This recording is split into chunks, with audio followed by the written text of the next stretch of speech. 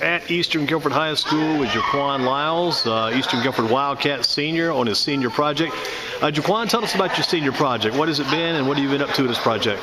Okay, well, first off, uh, got a senior project I'm doing it on sports analyst, so that's sports journalism. Um, been working with my mentor, Andy Durham. We've been working on things. Um, helped me with the journalism, typing it up, um, doing different interviews so I can work on my comprehension skills and just knowing how to the process of doing sports analyst. What's been the toughest part? I guess probably trying to get it all organized and trying to get it the done. Toughest yeah? part, yes, well, the first toughest part was me finding the mentor. And since I found the mentor, yes, the hardest part is getting it done, getting it put all together with the hours and everything. Got several hours and you got to get it done in the time frame. That makes it kind of tough because you've got uh, just a few days left to get this all finished, get this all complete. Yes. And you're looking at that direction. Uh, when do you guys actually have to have this turned in? When's the final date to get this all complete? The final date, I believe, is May 22nd. Right. Um, poster board has to be done with pictures on it, um, flash drive, your six-page paper. Gotcha. Whose class does all this come from? Does it come from a class, or who who kind of uh, oversees the senior project? What teacher? Well, it's actually, I believe, three teachers. Mm-hmm. My two teachers, Ms. Knight and Ms. Brown, they're the two main people um, of the head of the senior project committee, and and you're also working closely with Coach uh, Spinks too, right? Yes. What has he been able to help you with? Help you do? Well, Coach Spinks, he helped me find my mentor, Andy Durham. You, he found, helped me find you. Right. Um, just help me with the project period. Like let me call you and get get interviews and get it in order, right? Get it in order. Yes. Right. So, uh, what have you learned from trying to get this thing done? Um, I learned it takes a it takes a process. It takes time. You gotta really be focused and do it. Cause if you don't, you're gonna fail. Time's up, and you're gonna fail, and you Yeah. won't pass. You won't get the diploma. You don't finish up your senior year, and you're doing your senior project on how you spent your summer vacation. yeah. Right? How about uh, Jaqwan Lyles with us from Eastern Guilford Senior Project going on this uh, end of the month of April, finishing up toward May. Uh, you like sports? You like uh, what sport? Favorite sport do you uh, enjoy? My favorite sport is basketball. Yeah, who's your favorite basketball player? Uh, Favorite basketball player, Rajon Rondo. Okay, Mr. Rondo, still with the Celtics. yes. All right. What about uh, the NBA playoffs? Are you following that any? Yes. Yeah, What about the Charlotte uh, Bobcats? What can you tell me about the Bobcats? Have you kept up with them? Well, I know the Bobcats. Their star, Al Jefferson. Mm-hmm. He's gonna be playing tonight with a hurt foot, but he's still gonna play because they made the playoffs. Game two. Right. See if um, Charlotte can bring it home. Bring Yeah. See if they can get a win against the Heat. What about uh, Kemba Walker? If you had to replace Kemba Walker tonight, could you handle his role? I probably could. I'll try my best though. I Yeah. like basketball myself, so That's I- your favorite sport out of all of them. Yes. How about I'll a favorite football player? Who's your favorite football player?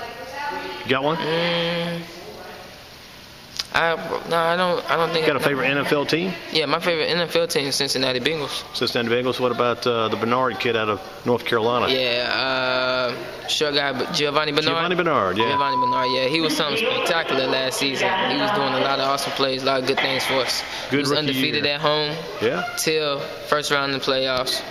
Lost to the Houston Texans, third time in a row.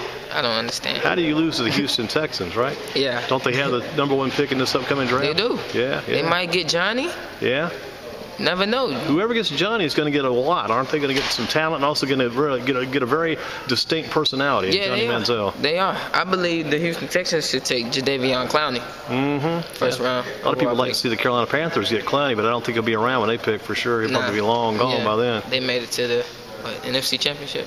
Yeah, made it to the first round of the playoffs and got knocked out that home game. Oh, oh yeah. What about uh, baseball? Got a favorite baseball player, favorite baseball team? Do you follow baseball at all?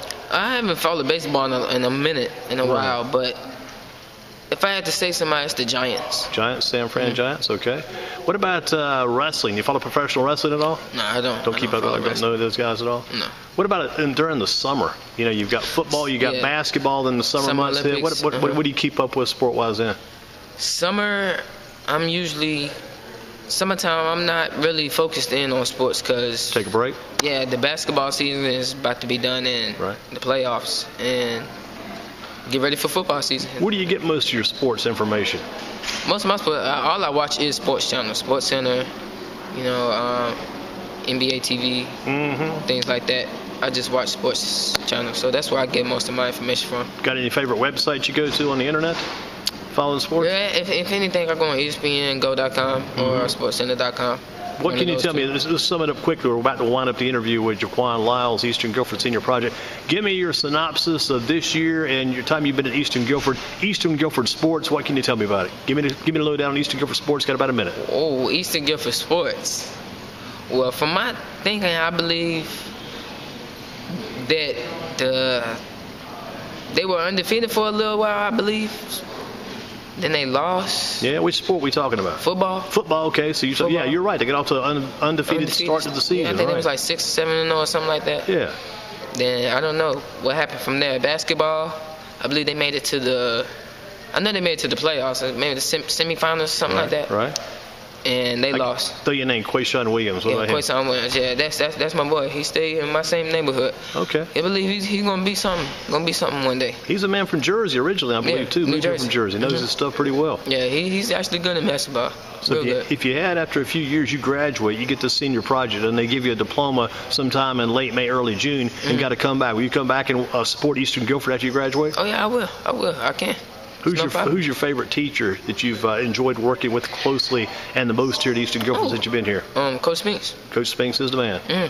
Jaqwan Lyles uh, talked with us today. Jaqwan, your next assignment, go home, get some work done, and get this senior project finished. Okay. Thank you.